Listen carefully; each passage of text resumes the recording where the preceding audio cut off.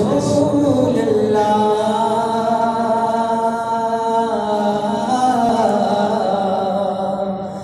वसल्लम अलैका या हबीब अल्लाह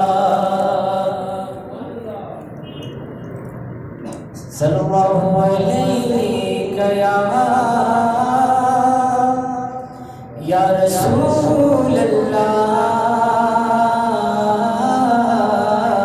वसल्लम या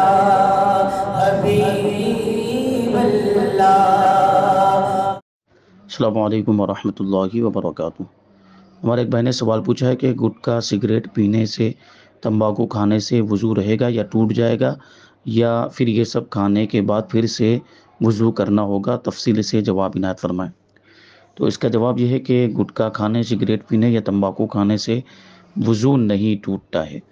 अलबत्त अगर किसी को ये आदत हो गुटखा वगैरह खाने की तो अगर वो नमाज़ के लिए जा रहा हो तो उसके लिए बेहतर ये है कि वो अच्छी तरह से कुल्ली कर ले, ताकि गुटखा वगैरह का असर जो है वो बिल्कुल उसमें से ख़त्म हो जाए, ज़ाइल हो जाए। और तंबाकू में बाज़ अवत मुँह से बदबू भी आती है तो उस बदबू का दूर करना भी लाजिम होगा।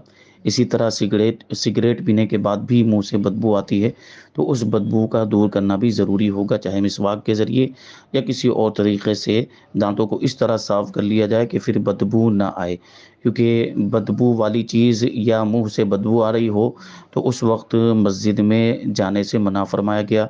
हदीस पाक के अंदर लहसुन और प्याज वगैरह के बारे में इशार फरमाया गया कि जो कच्चा लहसुन या कच्ची प्याज खाए तो वो हमारी मस्जिद के करीब ना आए। क्योंकि फ़रिश्तों को उस चीज़ से तकलीफ़ होती है जिससे इंसानों को भी तकलीफ़ होती है। तो ये बदबू वगैरह को दूर किया जाए और इससे वज़ू नहीं टूटता, लेकिन बेहतर यह है कि पूरा ही वज़ू कर लें। अल्लाम वरहमल वर्क हमारे एक बहन